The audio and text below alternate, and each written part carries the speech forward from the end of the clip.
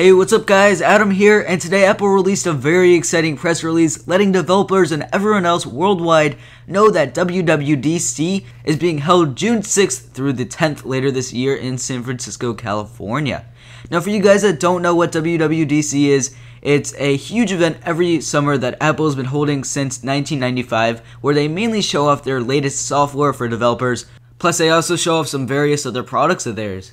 Now, the press release for this year states that Apple unveiled the future of iOS and macOS 10. And Apple also mentioned that if you're an Apple software developer, this is the event that you do not want to miss. So, pretty big hype behind this year's WWDC from Apple. What this means for us is that we're probably going to be seeing the fully polished version of macOS 10.7 Lion demoed at this event, probably with a date we're going to be able to purchase the software. And also, we're going to get a demo of the new version of iOS, iOS 5.0.